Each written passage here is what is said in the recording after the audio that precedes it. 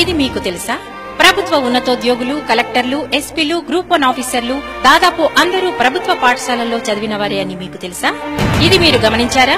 ప్రభుత్వ పాఠశాలల్లో అత్యుత్తమ శిక్షణ పొందిన టీచర్లే ఉంటారని ఎన్నో పోటీ పరీక్షల్లో నెగ్గిన తర్వాత మాత్రమే గవర్నమెంట్ టీచర్స్గా నియమింపబడతారని మీరు గమనించారా? మన తెలంగాణ రాష్ట్రం ఏర్పాటు అయ్యాక ప్రభుత్వ పాఠశాలల్లో గణనీయమైన మార్పులు వచ్చాయి. ఈ విద్యా సంవత్సరం నుండి ప్రభుత్వ ప్రాథమిక పాఠశాలల్లో ఇంగ్లీష్ మీడియం ప్రారంభించబడింది. ప్రభుత్వ పాఠశాలల ప్రత్యేకతలు విశాలమైన తరగతి గదులు విశాలమైన ఆట స్థలం. ప్రభుత్వ పాఠశాలలో విద్యార్థులందరికీ ఉచిత పాఠ్య పుస్తకాలు ఉచిత యూనిఫామ్ స్కాలర్షిప్స్ సన్న బియ్యంతో కూడిన ఉచిత మధ్యాహ్న భోజనం వారానికి రెండు గుడ్లు సరిపడా టాయిలెట్స్ మంచినీటి సౌకర్యం. ఇంకా వినూత్న కార్యక్రమాలు సిసిఈ టీఎల్ఎం ద్వారా విశిష్ట బోధన కంప్యూటర్ బోధన. ఒక్కసారి ప్రభుత్వ పాఠశాలను సందర్శించండి.